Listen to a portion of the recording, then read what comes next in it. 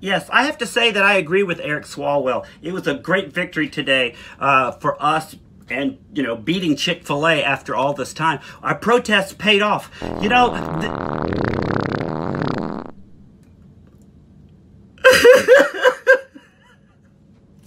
i'm so embarrassed. I'm so embarrassed. Turn it off. Turn it off. Turn it off. Turn it turn it off.